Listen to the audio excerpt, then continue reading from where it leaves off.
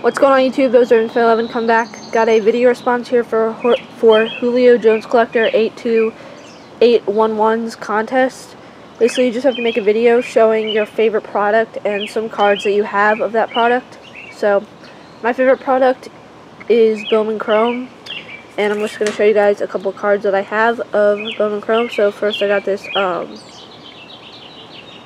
Bryce Harper rookie card. Next, got this uh, Stephen Strasburg. First Bowman Chrome card. I remember when these used to sell for like so much money. It's crazy. Next, I got this uh, Tyler Naquin, uh, numbered out of 50, a gold refractor from 2012 Bowman Chrome. Really like the look of this card. Next, I got this Aaron Judge green refractor um, numbered out of 75.